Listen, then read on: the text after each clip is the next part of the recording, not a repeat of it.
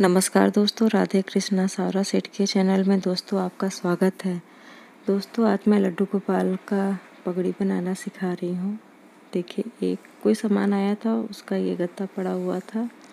इसमें मैंने साढ़े छः इंच लिया है और दो इंच इसकी चौड़ाई ली है। लंबाई साढ़े छः इंच है। इसको कट कर लिया है मैंने।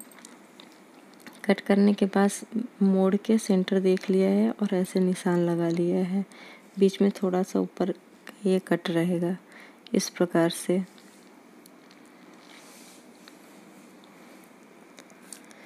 फिर मैंने अस्तर रख के और ग्लूगन की सहायता से इस प्रकार से चिपका लिया है। आपके पास जो भी चिपकाने का गोद हो, उससे चिपकाइएगा। चिपकाने के बाद फिर मैं दोनों को ज्वाइंट कर लेती हूँ। प्रकार से।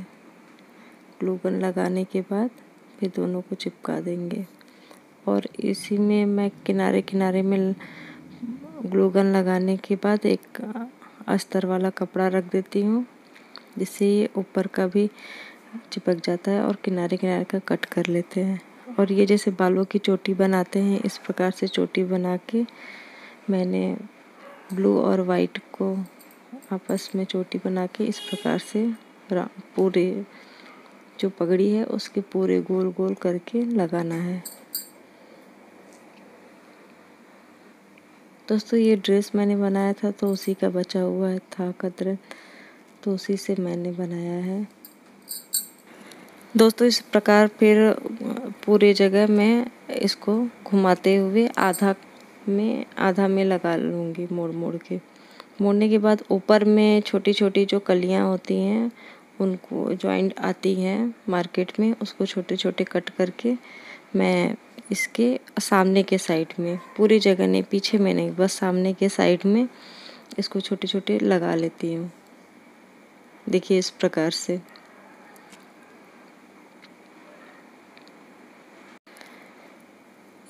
फिर इसमें जो चूनट दे के मैंने ये ज्वाइन कर लिया है यह भी कपड़े में का बचा हुआ था, फिर इसको पगड़ी के ठीक ऊपर में मैं इस प्रकार से लगा लेती हूँ। लगाने के बाद फिर इसको सजाएँगे। लटकन में दो ठो, दो लटकन में साइड साइड में और एक स्टोन जो कपड़े में मैंने लगाया है छोटी छोटी बूटियाँ, वो लगा के साइड में इस तरह आप एक साइड भी लगा सकते हैं, मैंने दोनों साइड से लगाया है। देखिए इस प्रकार से। दोस्तों, आपको पगड़ी कैसा लगा? अच्छा लगा तो बताइएगा, कमेंट करिएगा। आपके कमेंट से और भी अच्छा लगता है, बनाने का और भी इच्छा होता है।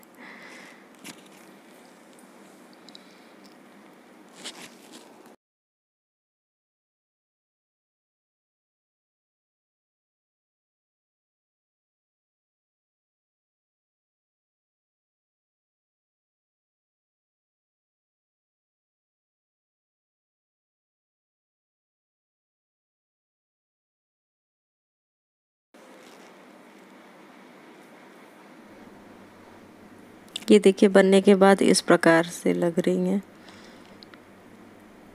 पहनाने के बाद और भी सुंदर लगेंगे दोस्तों। कैसा लगा आपको वीडियो? कमेंट करिएगा। वीडियो अच्छा लगेगा तो लाइक करिएगा। राधे कृष्णा।